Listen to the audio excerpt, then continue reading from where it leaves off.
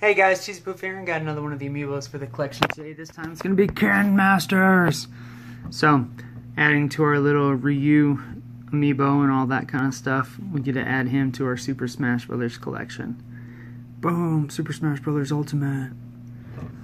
We're going to have a few other characters that aren't from any actual Nintendo first party consoles coming. A little bit more for the Smash Brothers figures here too. But he looks really cool. I'll go ahead and pull Ken out so you guys can see him up close. Alright, there's our Ken figure. so you can see his little Goldilocks there, his eyebrows. He's got a smug look on his face for sure.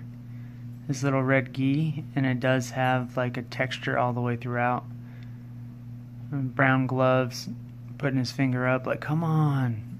The rest of his mus- muscles just bulging there